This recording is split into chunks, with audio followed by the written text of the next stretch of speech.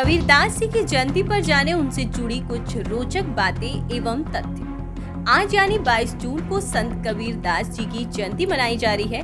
संत कबीर दास का जन्म ज्येष्ठ पूर्णिमा के दिन काशी में हुआ था और वह मध्यकालीन भक्ति आंदोलन के अग्रणी कवि थे। बता दें कि उनका जन्म काशी में हुआ था और उन्होंने मरने के लिए मगहर को चुना था। ऐसा करने के पीछे उनकी एक बहुत बड़ी कारण छिपी हुई है।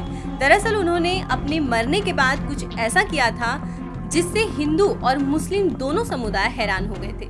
आइए बताते हैं कि उन्होंने ऐसा क्या किया था।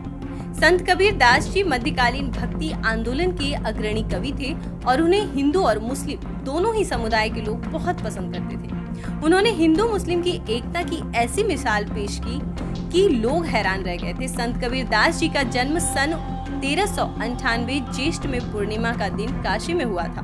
उनके पिता का नाम नीरू और माता का नाम नीमा था। काशी में पैदा होने के बाद भी संत कबीर दास जी ने अपने मृत्यु के लिए मगहर को चुना था, जो कि लखनऊ से लगभग 240 किलोमीटर की दूरी पर स्थित है।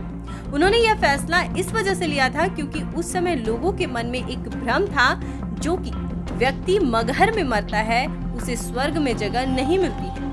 लोगों का यही अंधविश्वास तोड़ने के लिए संत कबीर दास जी की मृत्यु मगहर में हुई कबीर दास जी के निधन के बाद हिंदू और मुस्लिम अनुयायी उनके शरीर के अंतिम संस्कार के लिए लड़ने लगे। लेकिन जैसे ही उन्होंने शौक से चादर निकाली तो उन्होंने केवल सिर्फ़ फूल ही देखा।